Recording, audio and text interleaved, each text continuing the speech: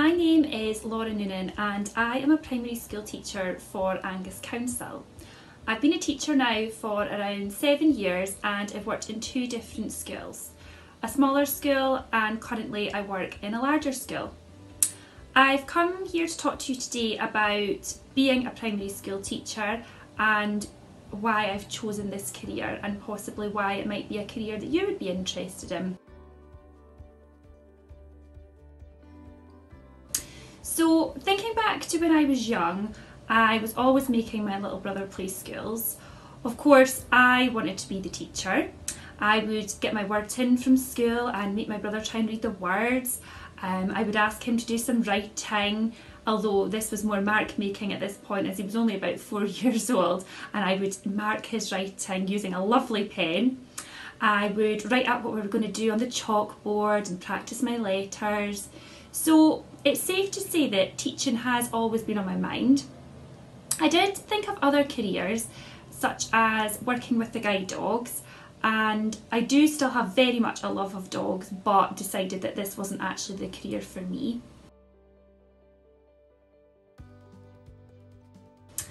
During secondary school I worked in a local shop at the weekends and this experience was really valuable to me. It taught me important skills such as time management, communication with others, patience, all of which I now realise are extremely important in the profession that I'm in. So it shows just how transferable skills can be and it's important to build up these skills in any which way you can. Towards the end of secondary school I decided to visit a local primary school for a few afternoons a week just to find out if this was a career for me as I did change my mind um, through secondary school. I was really eager to get involved with the children, I liked finding out what they were learning about and from this I decided yeah this was the career that I wanted to go for. So I applied to university and very luckily was accepted to the four-year course at Dundee University and undertook the four-year course there.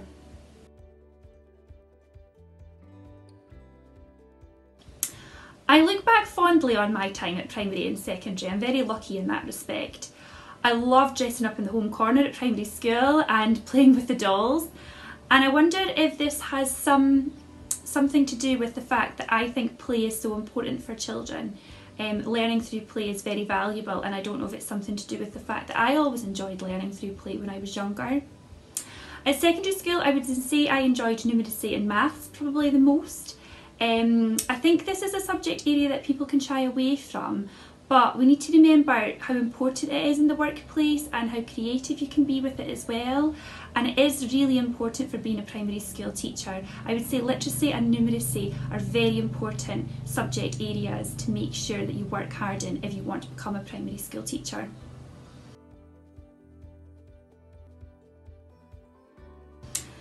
So thinking about my current role then as a primary teacher, I would say the best aspects of the job are seeing lots of smiley faces looking at you every day. It's amazing to see children learn, watch them make progress as the year goes on.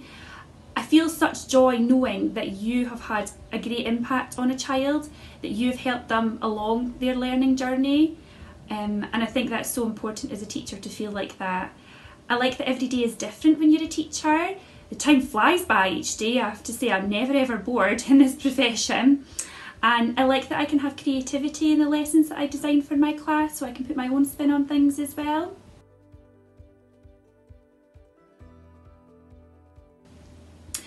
I would say that the skills that you need for the profession are teamwork.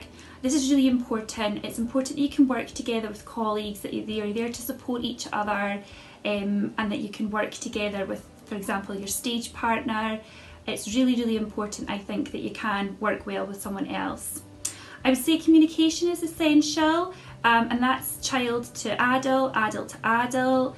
You know, it's important in the way that you respect each other and the way that you talk to each other.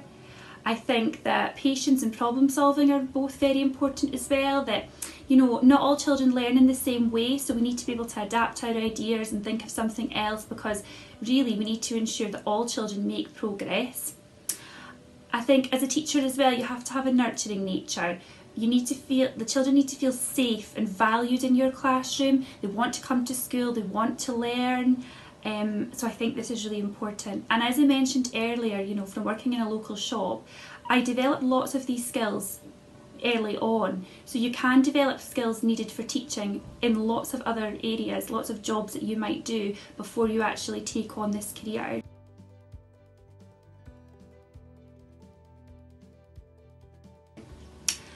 I think then before I go, the main things I would say is don't panic.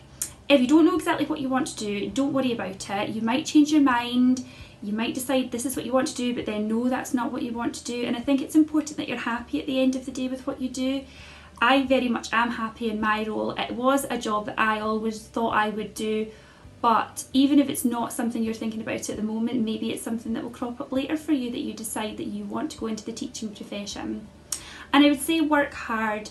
I would say try your best with subject areas at school. Make sure that you do the best that you can because that will open up the most avenues for you for your career. So thank you very much for listening. I hope you found this helpful. Bye bye.